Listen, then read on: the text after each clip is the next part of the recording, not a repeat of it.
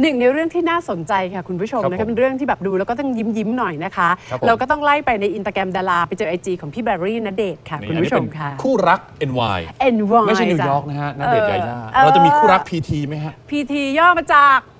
อืมไม่ใช่ปั๊มน้ำมันอะแป๋วเติมแป๋วเต๋อแป๋วเต๋อ PT นะไม่ได้ไม่ได้ ยุคนี้มันเป็นยุคที่จะต้องมี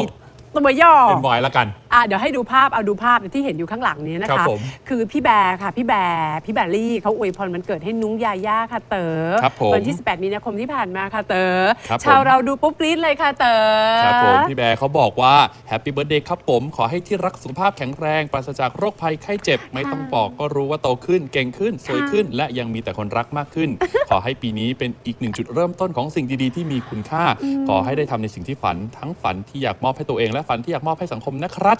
ดีใจจังเลยที่มีที่รักอยู่เคียงข้างเสมอมา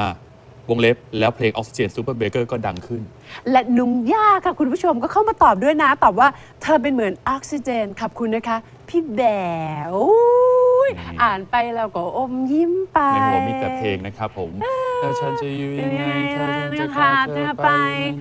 เดี๋ยวเออคุณพอผู้ชมจะรำคาญได้เปลี่ยนช่องไปแค่นี้เปล่าๆนะฮะ